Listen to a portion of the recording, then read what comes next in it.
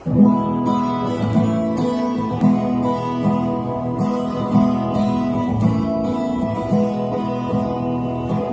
makinig, matuto Manood, makinig at matuto May aral natin ang kwento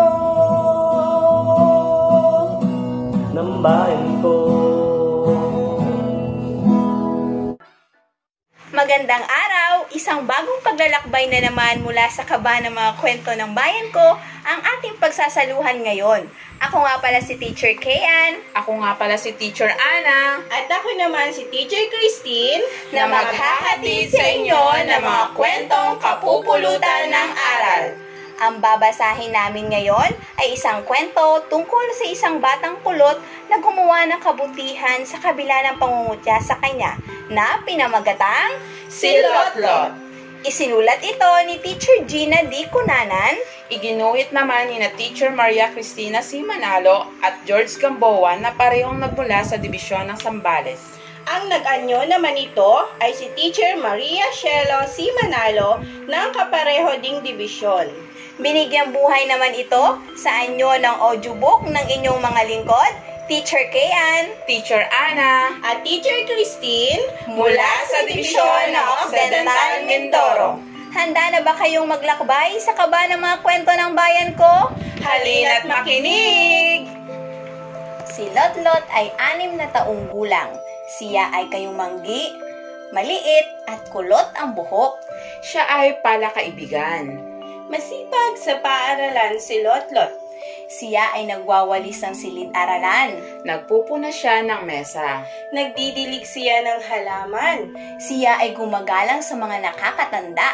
Aktibo rin siya sa klase. At higit sa lahat, si Lotlot ay matulungin sa kapwa. Isang umaga, masayang naglalakad si Lotlot papunta sa paaralan. Nakita siya ni Ira na kaklase niya. Kulot! Kulot! Ang sigaw ni Ira. Lumingon si Lotlot. Kulot! Kulot! Ang sigaw ulit ni Ira. Lumapit si Lotlot sa kanya. Ako ba ang tinatawag mo? Ang tawa ni Ira. Hindi mo dapat tinatawanan ang kapwa mo. Umiiyak na sabi ni Lotlot. Umalis si Lotlot at lumakad palayo. Makalipas ang ilang araw, habang naglalakad si Lotlot pauwi sa kanilang bahay, nakita siya ni Ira na inaaway ng ibang bata. Lumapit siya at sinaway ang mga ito. Tinulungan niya si Ira na tumayo. Naluha si Ira. Salamat, Lotlot. Hindi kita dapat husgahan. Ang wika ni Ira. Walang anuman.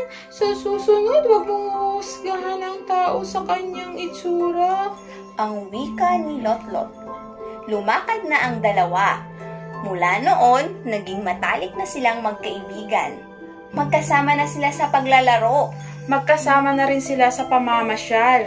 Palagi na rin silang nagsisimba kasama ang kanilang mga magulang.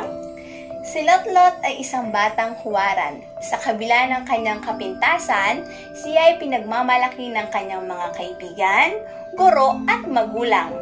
Kulot, kayumanggi, at maliit si Lotlot. Kaya naman, palagi siyang inaasar ng kanyang kapwa bata.